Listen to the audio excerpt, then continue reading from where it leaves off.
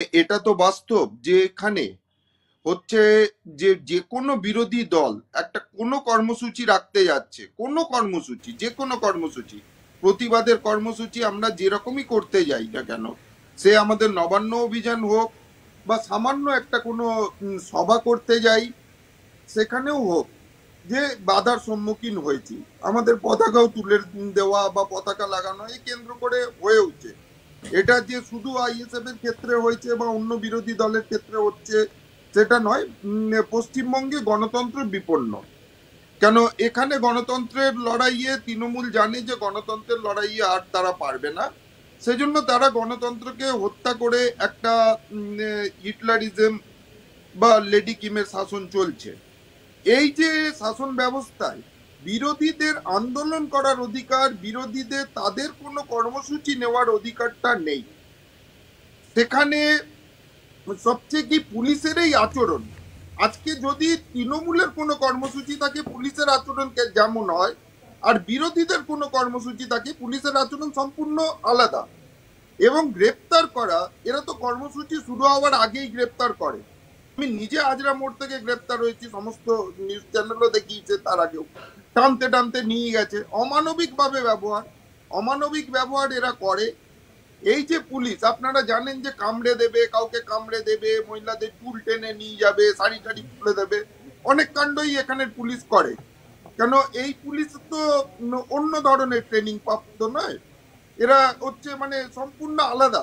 আগে একটা বাংলার পুলিশকে লন্ডনের পুলিশের সঙ্গে তুলনা করা হতো। এখন জানি না কোথাকার পুলিশের সঙ্গে তুলনা করা হবে। সেটা হয়তো উত্তর কোরিয়া হতে পারে। তো এই যে আন্দোলনটা শুরু হওয়ার আগে যেভাবে হিংসাত্মক রূপ নিয়েছে, দেখুন হিংসাত্মক রূপ কেন নিয়েছে সেটা তো একটা তদন্তের বিষয়। নিশ্চয়ই তদন্ত করে দেখা উচিত যে কারুর যদি দোষ থাকে, সেখানে দেখা উচিত, সেটা বিচার করা উচিত।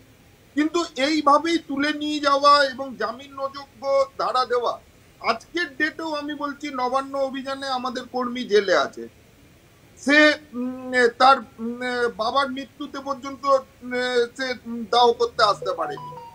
এরকম ভাবে অত্যাচার। এই যে বিরোধীদেরকে এমন এমন ধারা, এমন এমন আইপিসির এমন এমন সেকশন লাগিয়ে দেওয়া হয়, যাতে তারা জামিন না পায় এবং পুলিশ তুলে নিয়ে গিয়ে তাদেরকে লকআপে রেখে দিচ্ছে, তাদের লোকজনকে তাদের সঙ্গে দেখা করতে দিচ্ছে না। সেখানে নানানভাবে অত্যাচার করা হচ্ছে। সামান্য হিউম্যান রাইটসের অনুযায়ী, মানবাধিকার অনুযায়ী যে মানবাধিকার পাওয়া উচিত একজন রাজনৈতিক বন্দী আমার মনে হয় না পুলিশ, বাংলার পুলিশ সেটা জানে বা বাংলার পুলিশ সেটা মানে। তার কারণ এরা একটাই মানে যে, যেটা আমি বারবার বলছি, হিরক রানীর আদেশ। এরা তো মানবে না, অন্য কোনো কিছু মানবে না। আর বোমা, গুলি, হিংসা ছাড়া কিচ্ছু নেই। এর আগেও বলা হয়েছে, ভাঙড়, নানুর, বকটুকি মানে প্রত্যেকটা জায়গা, ভাটপাড়া, বারুইপুর সমস্ত কিছু আপনি দেখুন জ্বলছে।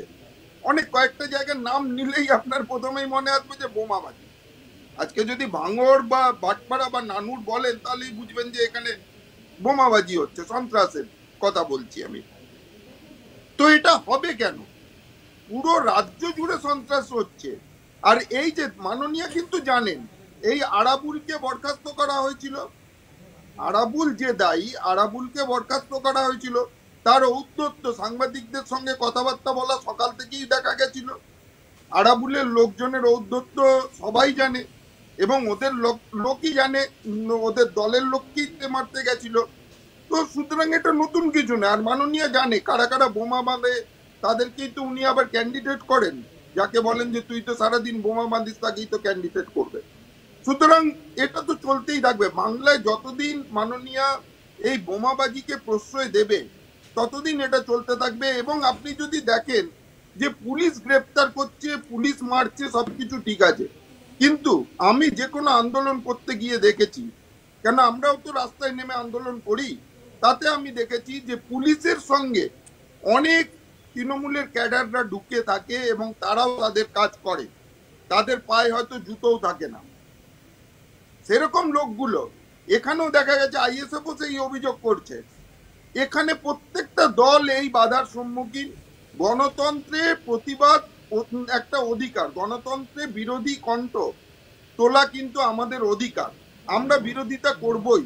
বিরোধীরা সদার্থকভাবে বিরোধিতা করবে। হ্যাঁ আমি আগেও বলেছি এবং আমি দলের পক্ষ থেকে আবার বলব যে, যদি এখানে কেউ গুন্ডামি করে বিরোধিতা করে, তার নিশ্চয়ই নিন্দা করব।